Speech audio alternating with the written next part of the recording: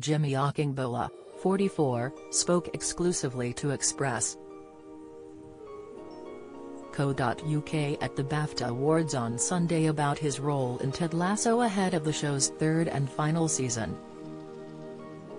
The actor, who also appears in new thriller Rogue Agent and popular show Bel Air, suggested he would like to reprise his role on the hit Apple TV Plus series.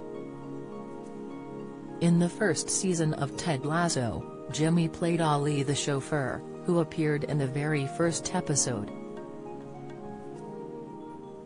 Ali picks Ted Lasso, Jason Sudeikis, and Coach Beard, Brendan Hunt, from the airport to take them to AFC Richmond, via some London landmarks such as Tower Bridge. He also invites Ted back to his father-in-law's restaurant one evening to try their Indian food, which the coach dutifully compliments despite finding it far too spicy for his taste. He is also introduced to Trent Crimm, James Lance, a skeptical journalist who becomes won over by Ted's sincerity and charm. Speaking on the red carpet about his role in the show, Jimmy suggested he would be keen to return as Ali before the series ends.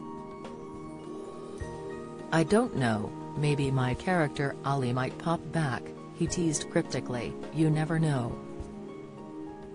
Pressed on whether he might return, he added, I'd be up for it.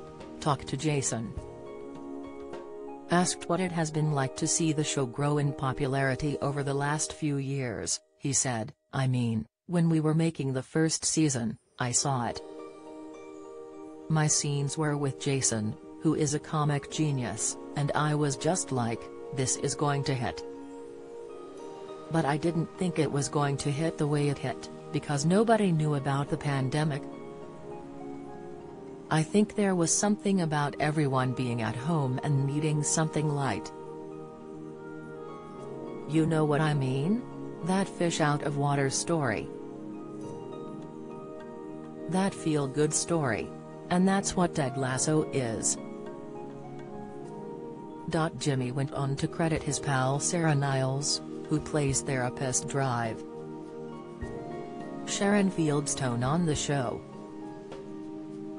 my friend Sarah Niles is in it as well and she's been nominated for an Emmy. I'm just so proud of everyone on the show. Jimmy also stars beside Gemma Arterton as Andrew and Alice in Adam Patterson and Declan Lawn's new film Rogue Agent. The Netflix movie follows a conman, played by James Norton, who tricks and convinces several people he's an MI5 agent, before Alice brings him down. Elsewhere in the interview, Jimmy spoke about starring alongside James and Gemma in the film. It was a dream working with Gemma Arterton and James Norton, he confirmed. I mean, it was so fun shooting our scenes together. Obviously, my character wasn't the nicest. Actually, he was a nice guy but then he had to do what he needed to do.